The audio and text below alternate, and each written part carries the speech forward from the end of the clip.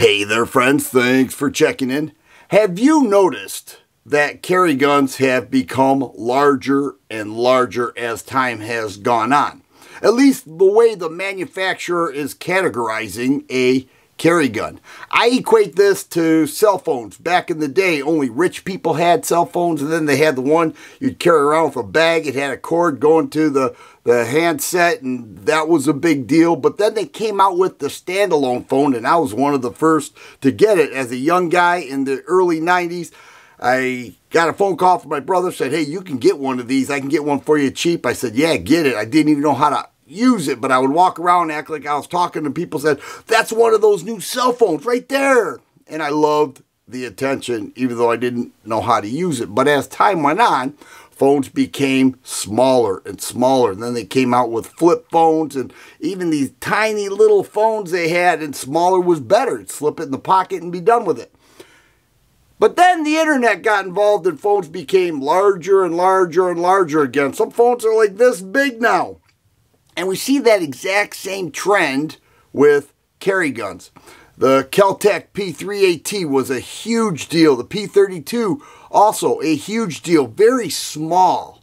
Prior to that, they were large, 1911s, four-inch barrel revolvers, but then they became uh, a trending pattern, became very small, little pocket guns. Then Ruger LCP, you know, Ruger copied the P3AT. They came out with their own version, and people were selling those for, there were bidding wars at, at gun shows for over $600 to get their hands on that, if you could believe it or not. But then as time went on, people said, I don't want the 380, I want the 9mm. Kahr had the PM9, Diamondback had the DB9. The Shield came out. It was a huge seller. Couldn't even keep them on the shelves at the gun stores. They were selling for over $600 once again.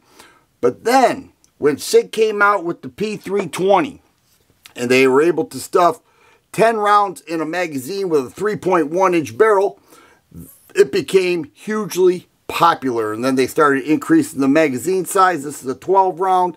And then they continued to do that. Then they came out with the X Compact, began to make them larger. And people were eating those up. And the X Macro came out, it made huge news. People wanted a larger handgun. You look at Springfield with the Hellcat, three inch barrel, subcompact, double stack, 9mm. What'd they do? They came out with the Hellcat Pro. 3.7 inch barrel and now 17 round mags. You look at the SIG X Compact, 15 round mags, uh, 3.7 inch barrel, and what did they do?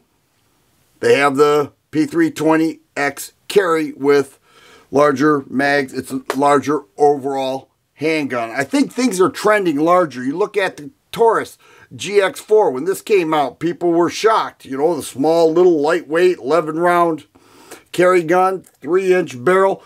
But what did they do? They came out with a GX4 carry. They made a larger gun, 3.7 inch barrel, 15 round mags.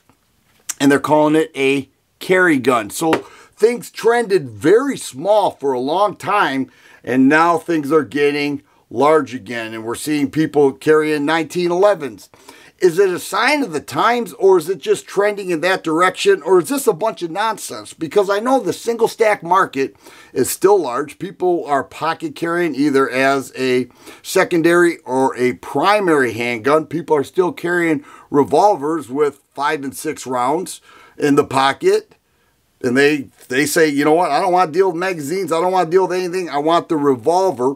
And then others are going with the larger handguns. And what I'm wondering is where do you sit on this? Are you uh, saying I want to get the, the largest handgun I could possibly carry, still maintaining a comfort level where I know I'll carry it every day?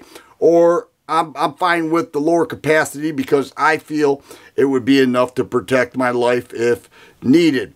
Capacity is always a, a big deal. If you carry a single stack, I highly encourage you to carry a spare mag because you just don't know what you could be in for and you don't know how many rounds it's going to take to fend off an attacker.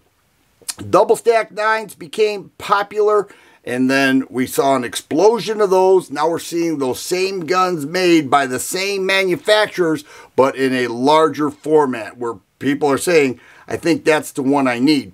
Prior to that, you know, you look at the FNS 9C, there was that medium 3.5 inch barrel. The P10S by CZ, right in the midst.